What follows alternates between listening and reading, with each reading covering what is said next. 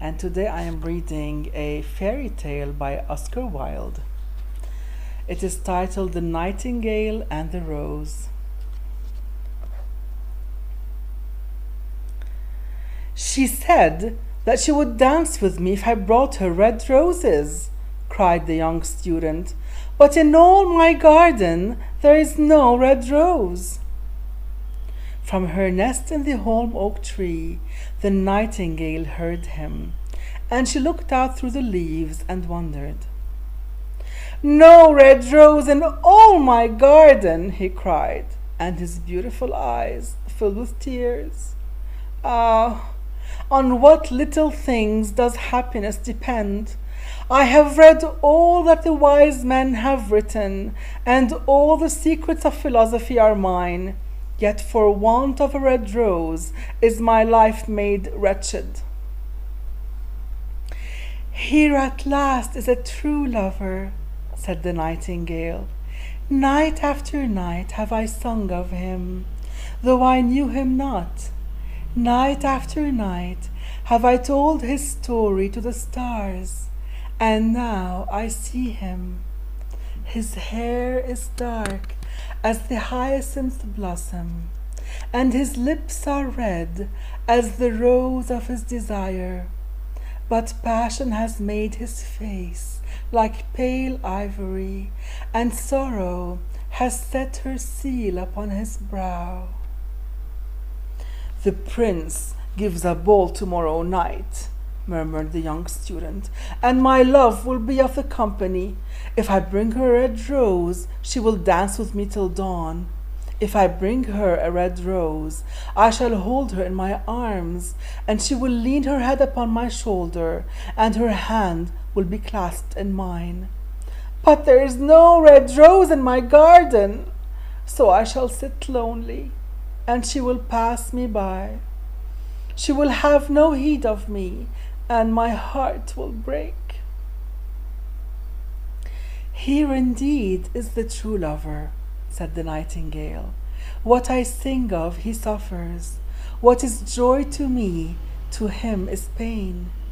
Surely love is a wonderful thing. It is more precious than emeralds, and dearer than fine opals. Pearls and pomegranates cannot buy it, nor is it set forth in the marketplace. It may not be purchased of the merchants, nor can it be weighed out in the balance for gold. The musicians will sit in their gallery, said the young student, and play upon their stringed instruments, and my love will dance to the sound of the harp and the violin. She will dance so lightly that her feet will not touch the floor and the courtiers in their gay dresses will throng around her. But with me she will not dance, for I have no red rose to give her. And he flung himself down on the grass and buried his face in his hands and wept. Why is he weeping? asked a little green lizard as he ran past him with his tail in the air. Why indeed? Said the butterfly, who was fluttering about after a sunbeam.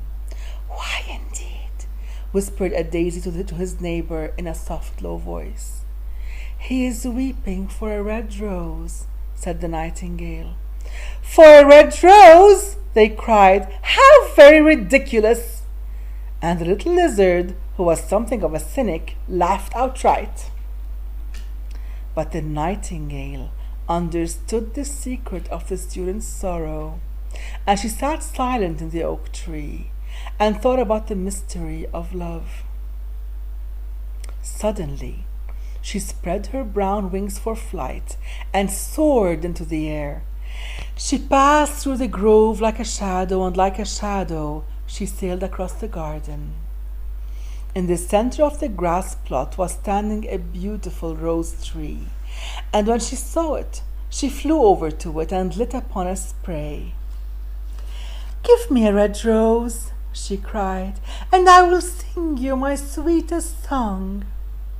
But the tree shook its head. My roses are white, it answered, as white as the foam of the sea, and whiter than the snow upon the mountain. But go, go to my brother who grows round the old sundial, and perhaps he will give you what you want. So the nightingale flew over to the rose tree that was growing round the old sundial. Give me a red rose, she cried, and I will sing you my sweetest song. But the tree shook its head. My roses are yellow, it answered, as yellow as the hair of the mermaiden who sits upon an amber throne, and yellower than the daffodil that blooms in the meadow before the mower comes with his scythe. But go, go to my brother who grows beneath the student's window, and perhaps he will give you what you want. So the nightingale flew over to the rose tree that was growing beneath the student's window. Give me a red rose, she cried, and I will sing you my sweetest song. But the tree shook its head. My roses are red, it answered, as red as the feet of the dove, and redder than the great fans of coral that wave and wave in the ocean cavern. But the winter has chilled my veins, and the frost has nipped my buds, and the storm has broken my branches, and I shall have no roses at all this year. One red rose is all I want, cried the nightingale. Only one red rose. Is there no way by which I can get it? There is a way, answered the tree, but it is so terrible that I dare not tell it to you. Tell it to me, said the nightingale. I am not afraid.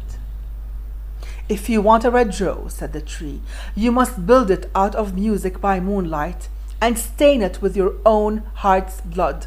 You must sing to me with your breast against a thorn. All night long you must sing to me, and the thorn must pierce your heart, and your life blood must flow into my veins and become mine. Death is a great price to pay for a red rose, cried the nightingale, and life is very dear to all. It is pleasant to sit in the green wood and to watch the sun in his chariot of gold and the moon in her chariot of pearl. Sweet is the scent of the hawthorn, and sweet are the bluebells that hide in the valley, and the heather that blows on the hill. Yet love is better than life. And what is the heart of a bird compared to the heart of a man? So she spread her brown wings for flight and soared into the air. She swept over the garden like a shadow, and like a shadow she sailed through the grove. The young student was still lying on the grass where she had left him, and the tears were not yet dry in his beautiful eyes. Be happy, cried the nightingale. Be happy. You shall have your red rose. I will build it out of music by moonlight and stain it with my own heart's blood. All that I ask of you in return is that you will be a true lover, for love is wiser than philosophy, though she is wise, and mightier than power, though he is mighty. Flame colored are his wings, and colored like flame is his body. His lips are sweet as honey, and his breath is like frankincense. The student looked up from the grass and listened, but he could not understand what the nightingale was saying to him, for he only knew the things that are written down in books.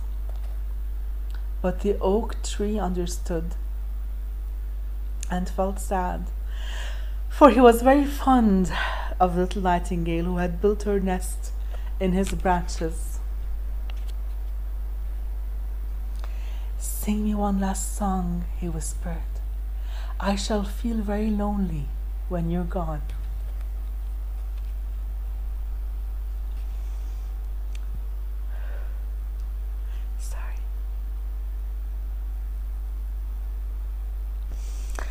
So the nightingale sang to the oak tree, and her voice was like water bubbling from a silver jar.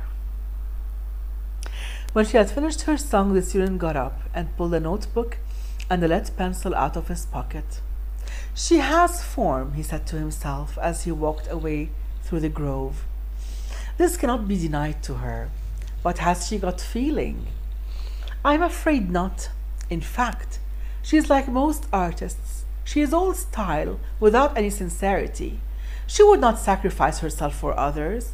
She thinks merely of music, and everybody knows that the arts are selfish. Still, it must be admitted that she has some beautiful notes in her voice. What a pity it is that they do not mean anything or do any practical good. And he went into his room and lay down his little pallet bed and began to think of his love, and after a time he fell asleep. And when the moon shone in the heavens, the nightingale flew to the rose tree and set her breast against, against the thorn. All night long she sang with her breast against the thorn, and the cold crystal moon leaned down and listened. All night long she sang, and the thorn went deeper and deeper into her breast, and her lifeblood ebbed away from her. She sang first of the birth of love in the heart of a boy and a girl. And on the topmost spray of the rose tree there blossomed a marvelous rose, petal following petal, as song followed song. Pale was it at first, as the mist that hangs over the river, pale as the feet of the morning, and silver as the wings of the dawn.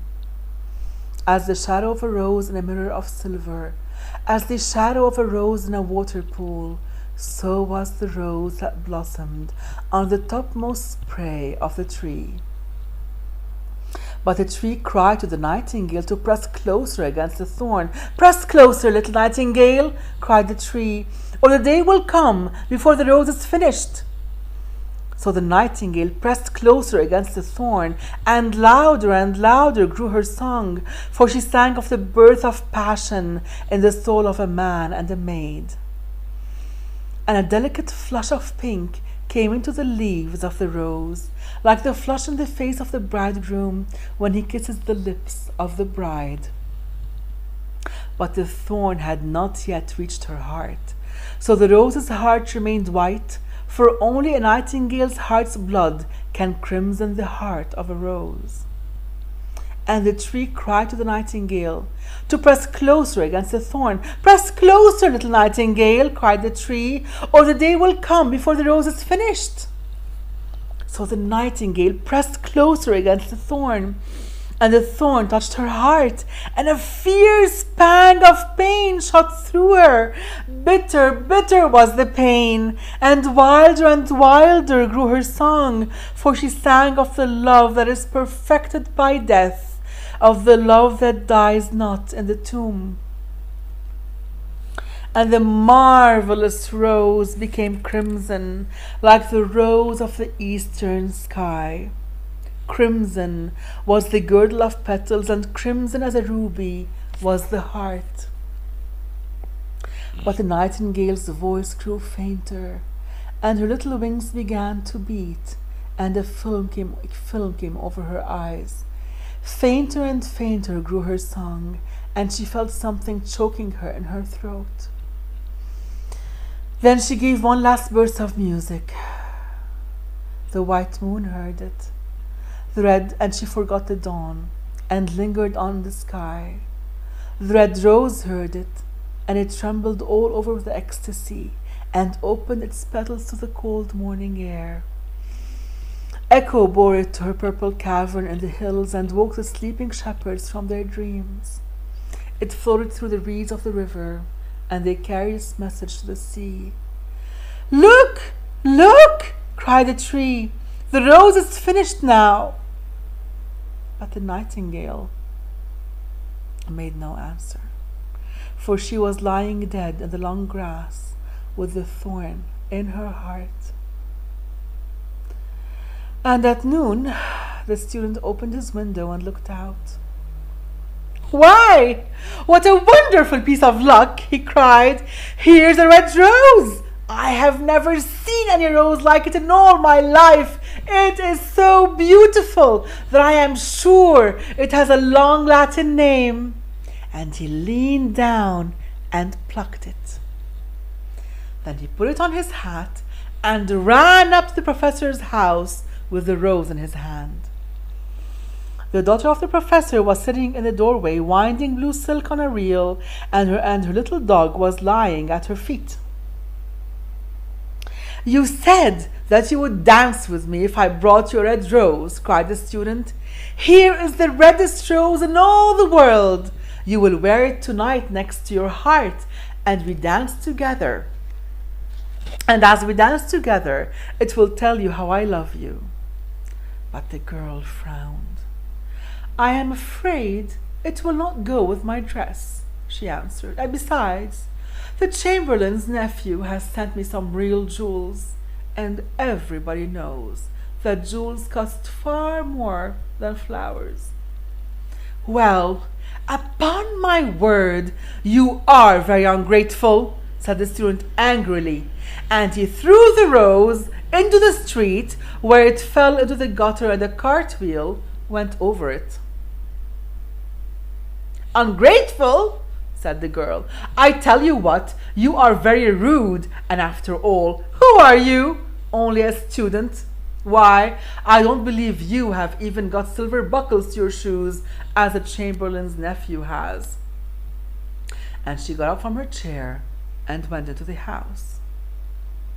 What a silly thing love is, said the student as he walked away. It is not half as useful as logic, for it does not prove anything, and it's always telling one of things that are not going to happen and making one believe things that are not true. In fact, it is quite unpractical, and as in this age to be practical is everything, I shall go back to philosophy and study metaphysics. So he returned to his room and pulled out a great dusty book and began to read.